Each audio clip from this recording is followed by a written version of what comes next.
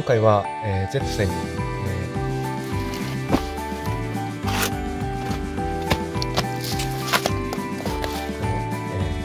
ー、パルスカバーっていうのかな。この部分ですのパーツとあとはトークエンドこのパーツですね。このパーツをつけていきたいと思います、あとはエンジンガードも元々ついてるやつからちょっと違うやつ交換したいと思います今この赤色のやつで買ってつけたんですけどこれはなんか専用のやつっていうよりはこう汎用のエンジンスライダーをただつけた感じです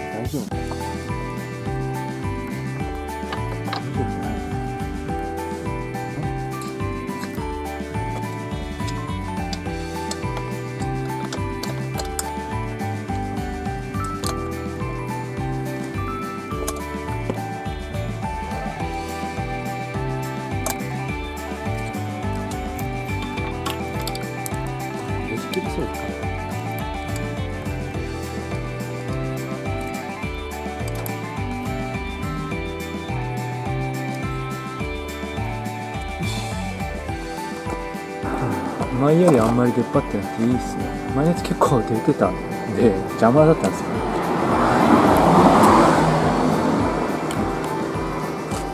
ちょっとなんかこのゴムゴムやってるピラかこの劣化感が気になる。これとこれとこれが入ってて3枚のプレート。あとネジ。じ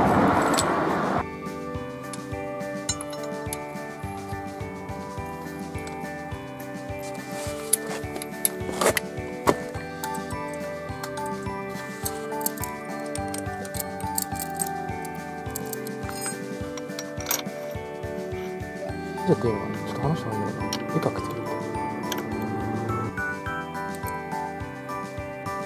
いいんじゃないかな。